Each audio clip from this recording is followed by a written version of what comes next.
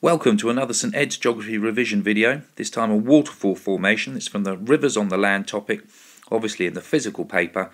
We'll also be looking at how you can use this in an exam answer. Okay, so the exam question comes from 2010. It's a four mark question. As it's a four mark question, it's levelled in the marking. That means they're going to look at the quality of what you write and give it a level 1 or a level 2. A level 1 has some points, jumps about a bit maybe, might be incomplete, you haven't got the whole sequence, maybe it's not linked together, and things like that. However, we are not interested in level 1 for any of you here. Everyone should be aiming at level 2.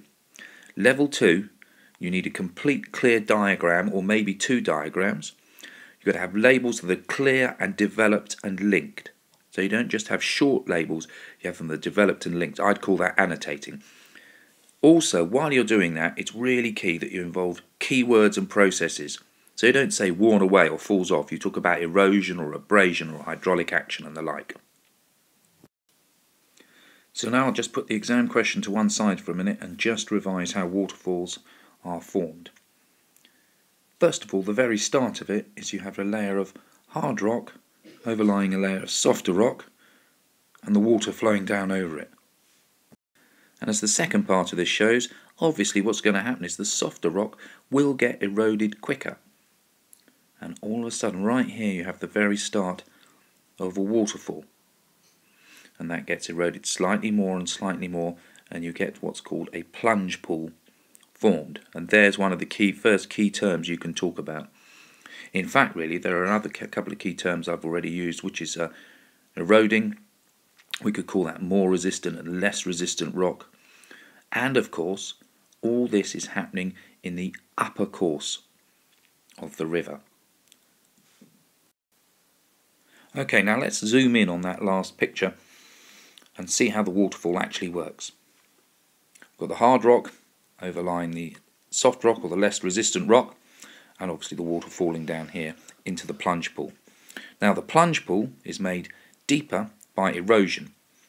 Erosion by abrasion, where the rocks here in the plunge pool deepen out and scour out the plunge pool. Also by hydraulic action, the sheer force of the water falling down into there. Another type of erosion is also happening in here. It's when these rocks are hitting into each other, and that's called attrition, and they'll become smaller and smoother over time through that. Now the hydraulic action and the abrasion mean this plunge pool is not only made deeper but also cut back here.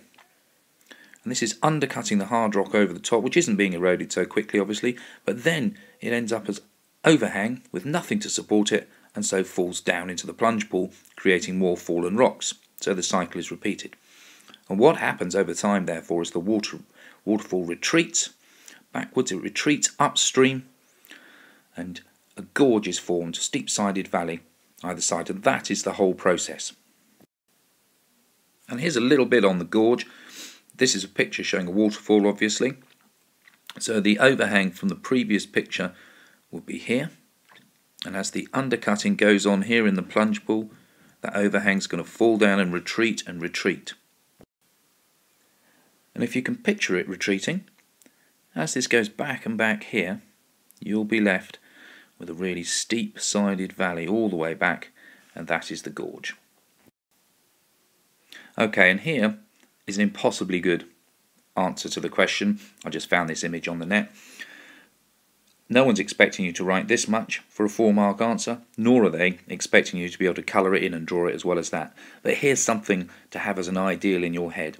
Read through this, look how the points are developed, look how the key phrases are used. Look how the whole sequence is there from start to finish. Okay, and here's the question again that we started the uh, video with. Um, to help your revision, the best thing to do is to practice answering exam questions. It's a four mark answer. You want to give yourself five minutes to do it, and then, of course, you can hand it in and I'll mark it for you. All the best with your revision.